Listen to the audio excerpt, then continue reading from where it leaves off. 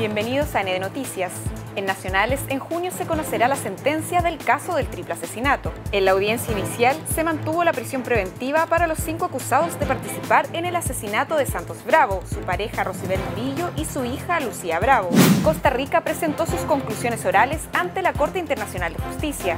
El miércoles y el jueves será el turno de Nicaragua para tratar el conflicto de Harbor Head. En Internacionales, un video captado por un transeúnte muestra la violencia en las calles de Baltimore, Estados Unidos.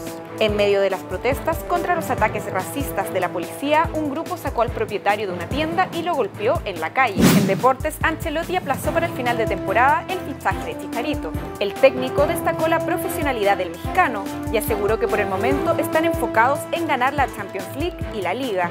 En fama, Giselle Bunchen se desnudó para su última portada como modelo. En la revista Vogue de Brasil, la supermodelo celebra sus 20 años de carrera con una edición especial. Para ampliar estas y otras noticias puede ingresar a www.elmodiario.com.ni y nuestras redes sociales.